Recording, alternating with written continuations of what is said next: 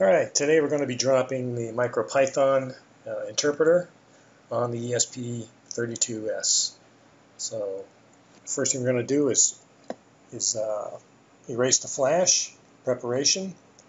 Uh, we'll be using tools that you've already installed in the uh, ESP32 Arduino library. That's a, those are on GitHub.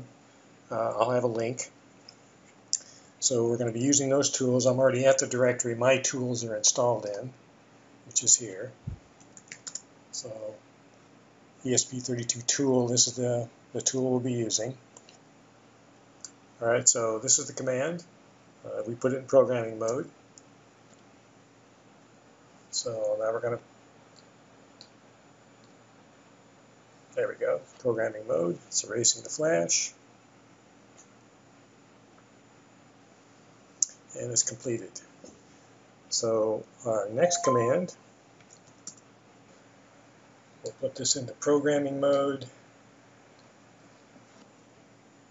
and then we'll execute the command. You see it connecting, it's found it, now it's uploading the MicroPython interpreter. We're using pretty good baud rate, so it should be pretty quick. Done. Okay, so now we've launched uh, PuTTY and I've connected to COM7. Uh, we're going to uh, reset the now the newly programmed uh, module with MicroPython and we're going to see what happens.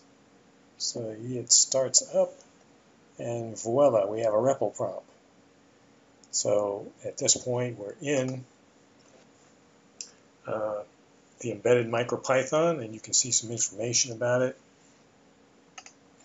Okay, so we now have MicroPython installed. So one of the first things that uh, you'll want to do is just uh, import the machine configuration.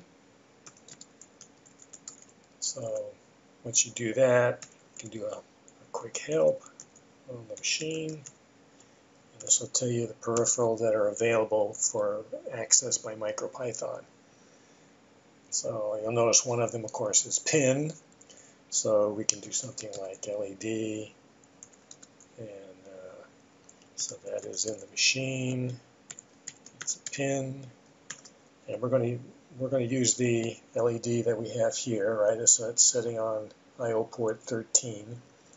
So 13, and then we're going to define uh, what mode that uh, pin is going to operate on. So it's machine, it's pin, want to do it in output.